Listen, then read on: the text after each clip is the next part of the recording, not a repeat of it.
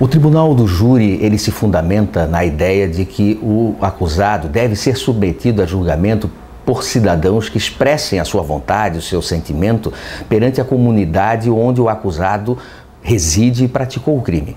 Para ser jurado, basta ter idade superior a 18 anos, estar no gozo dos seus direitos políticos e não possuir antecedentes criminais.